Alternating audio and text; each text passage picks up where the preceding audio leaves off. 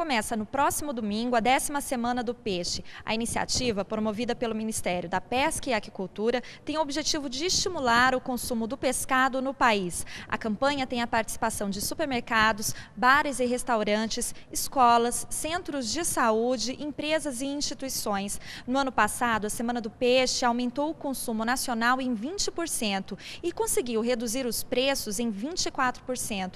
As informações são de um levantamento do Ministério da Pesca e Aquicultura. De Brasília, Carolina Becker.